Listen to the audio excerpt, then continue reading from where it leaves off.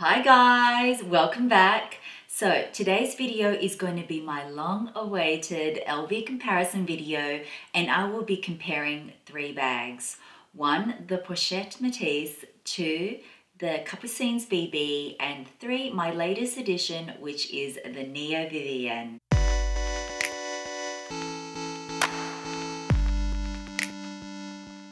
For those of you that may be new to my channel, welcome. My name is Mel and thank you for joining me in today's video, which is going to be a super thorough comparison video. Now, for those of you that have followed me for a while, I asked you guys on Instagram, and if you haven't followed me already, this is my Instagram handle here now. I asked you guys, I am going to be doing a video about my Neo Vivienne, which I got earlier this year what did you want to see me compare against? And there were a lot of votes, but I said I would go with the majority, and the majority was the Pochette Métis. But you know what came in a really, really close second? The Capucines BB. So I thought, why not Mel? Let's do a comparison of all three. Yes, it is definitely harder and more time consuming to do a comparison of all three, but just for you guys, because I love you guys, I'm going to do all three and I hope this is a useful tool for you when you go to purchase this bag or maybe some of you are considering this bag or perhaps some of you may have one bag and thinking, oh, what should I add next to my collection? Now, this video has been a long time coming because you know I like to be very, very thorough in my comparisons and I have got feedback from past videos you guys really enjoyed my Chanel comparison videos and I where I compare four bags. If you haven't seen that, I'll link that up here.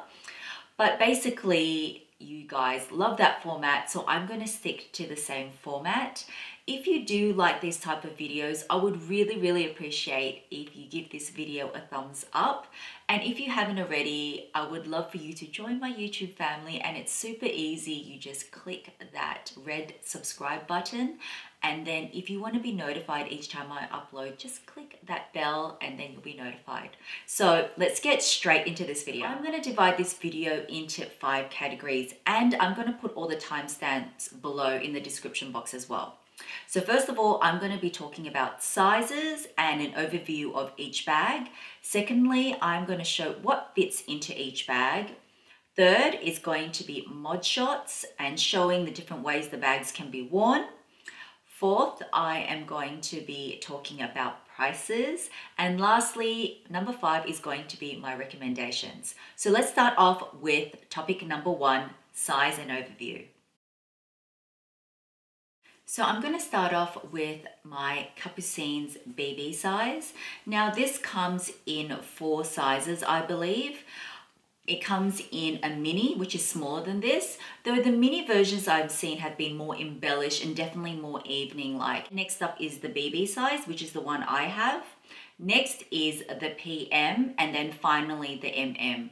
There used to be a GM size, which was the larger size, but I believe this has been discontinued purely because it was one heavy, heavy bag. This bag is made in Tyrolean leather. It is a very, very durable leather. It's got this sort of big, it's a grained leather as you can see, and it's quite big, the grains. That's what it looks like from the front. The back is plain. It's got a flap, and when you open it up, inside is divided into two main compartments. One, two with a zipper. It does also have four feet at the bottom of this bag. This bag also comes with a shoulder strap. The version that I have is not adjustable, but the versions nowadays are adjustable. Also, there are so many different leathers and materials. So the version I have is the python handle, but it also comes in the plain version, plain leather version as well. And mine does have gold hardware, but some of the colorways it does come with silver hardware if you are more of a silver hardware person in terms of the measurements, now if you see me referring down to my phone, it's because I have notes on here and I just want to be super thorough. So that's the reason why I'm referring down to my phone. So for the Capucines, it measures lengthwise 27 centimeters, height is 18 centimeters, and depth is 10 centimeters. So next up is my beloved Pochette Métis. In terms of materials, the one I have is in monogram canvas and it comes in different canvas versions. I've seen it come in rouge version where it was the black and red, the reverse mono, and it also now comes in Empreinte. In terms of sizes, it now comes in two different sizes. This new season, uh, it comes in the mini size, which is a mix of sort of like epi leather and canvas. So this is the original size and then there's a mini size as well. It has the S-lock, this is called the S-lock. It has got a zipper compartment at the back, which is super useful uh, just to put your phone in there, easy access. It's got a little bit of the vachetta, which is just on the handle and this little tab here. To open it up, you just push one side and it opens up. And inside, it is in the microfiber lining and it is a, an accordion style and there are three compartments one two and three it does not have any feet on the bag as well. So in terms of size for this bag it measures 25 centimeters in length it measures 19 centimeters in height and 9 centimeters in depth. I don't have the strap on here but it also comes with um, a shoulder strap, an adjustable and remo removable shoulder strap, which is also in the monogram canvas. And finally, this is my Neo Vivienne. This bag here is in grained leather, though it's not in the same grained leather as the Capucines. It is also in a calf, but as you can see, the grains are smaller compared to the Capucines there, as you can see. Comes in a few different colors. There's been a couple of new colors that has been released, but I think there's been about five or six colors that this bag is available in. It has got this top handle here, and to open up the bag is a magnetic closure like that. And when you open up the bag here, it also, oh, it also comes with a luggage tag. And when you open it up, it's quite similar to the Pochette Métis in the sense that it's got compartment, it's compartmentalized. So it's got this back pocket here, one big pocket, one, one big compartment here, another compartment here, and then a zipper compartment there. This bag also comes with a shoulder strap in leather that's removable and adjustable as well. And it does not have any feet. Forgot to show you the back. The back is completely plain. Now in terms of the size, this is the smallest of the three and the measurements are 22 centimeters across, 15 centimeters in height and 9 centimeters in depth. Now I've started off with this bag first because I know that it fits the most. And then what I'll do is I'll use the exact same contents and then transfer everything from here into the Capucines and see what I have to leave out and then so forth from the Capucines into the Neo Vivienne. So let's start off with this bag. So it's like S-lock, as I mentioned before. You just push this and you open it up. As you can see, this is packed to full capacity. This is not what I would normally pack into this bag, but for the purposes of this video, I just want to show you how much this little baby can pack in there. So it is full to the brim. So what I've got in here is my LV mini pochette, and that's packed with makeup and just little bits of medicine and stuff like that. And this is my Chanel card holder, which I use as a mini wallet. Tissues, sunglasses in a soft case. Now this is uh, my old Gucci agenda and that equates to an LV uh, agenda, the small one, the small ring agenda. If anything, this one is a touch bigger my car keys, some hand sanitizer, the LV uh, key pouch, which has got keys and just some other bits, my Dior Diorama card case, my mints, my Hermes coin pouch, my lipstick pen, and as I mentioned before, it is in microfiber lining. So there are three main compartments. I haven't put anything in that one, but you can as well. But that's because I usually put my phone in this back pocket here. And that's an iPhone 7 Plus with a hard case. So as you guys can see, there is a lot in there. Also, I just wanted to let you know that yes, it absolutely fits a full-size Continental wallet, no problem, if you did have a full-size wallet. Okay, so next up is my Capucines BB. And if I just open it up, as I showed you before, this is what the inside looks like. And I forgot to mention, but this bag is completely leather lined on the inside. And see this tab, it just goes into this little slit here, and that's how the bag closes up as you can see. And also if you wanted it for added security, it does have this hook with this D-ring if you wanted to clip it up, but I never use that. Okay, so let's see if I can fit everything from my Pochette Métis into this bag. I'm using exactly all the same contents, so let's take a look.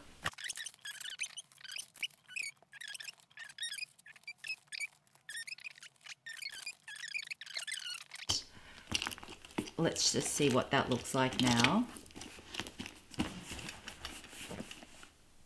No, I still think that's too full. I think you would need to take... Okay, let's just try that. Let's just see how that looks. Okay, that's looking better to me. It's not as... It doesn't come out as much and it fits everything else in. So what I left out was the Dior card case and my Hermes coin pouch. But as I said, guys, this is not normally what I would pack in here. This is at absolute max capacity without it looking too, too bulgy. Just show you that it does fit the Continental wallet as well, but it is a super tight fit. So you've got to really push it in there it does fit in, but it would be a pain to get out. As you can see, I really need to push it to the side and then pull it out.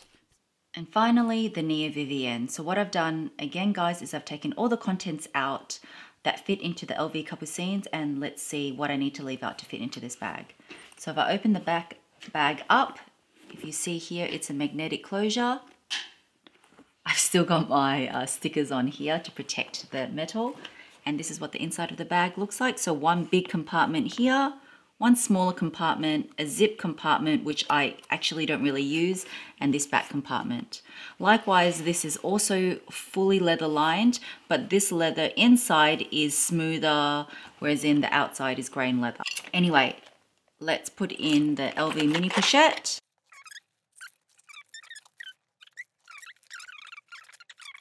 So yes, it does close, as you can see, but it is looking quite fat. What did I leave out of the Capucines that I couldn't fit into the Neo Vivienne?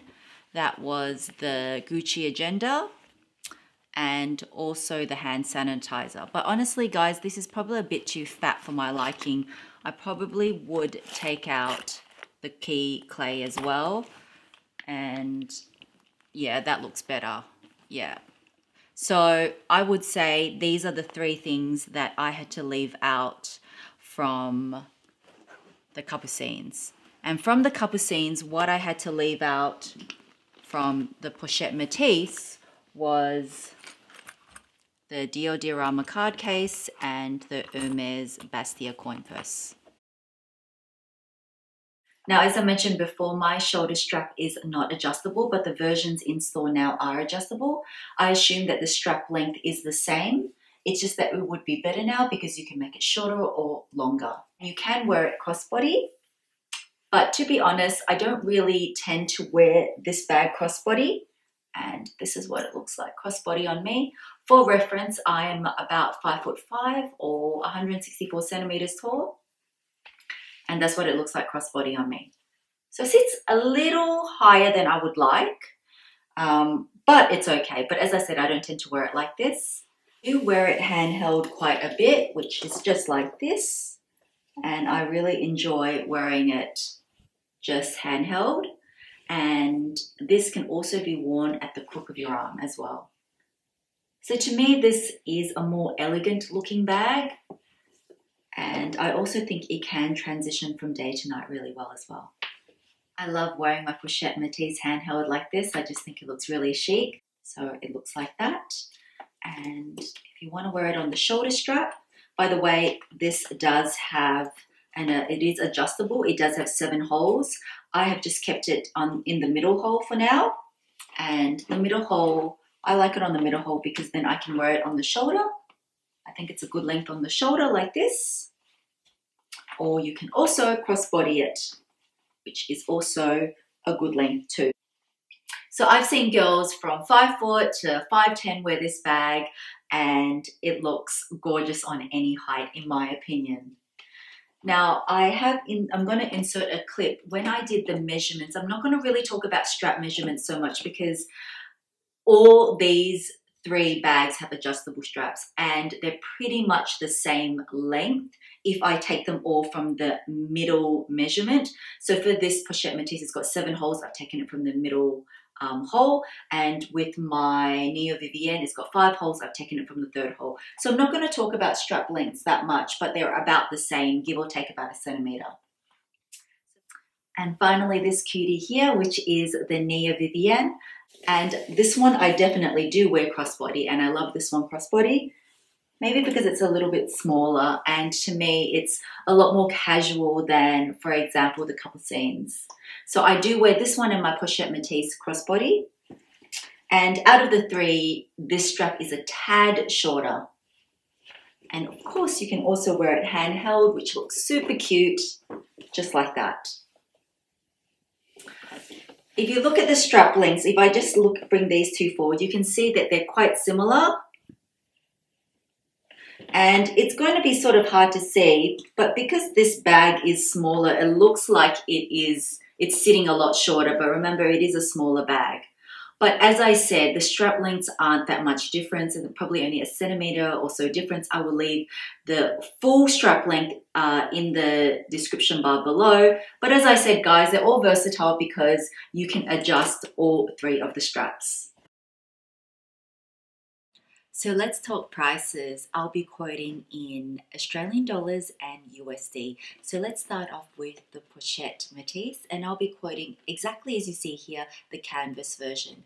And this retails for 2,400 AUD or 1,780 USD plus tax.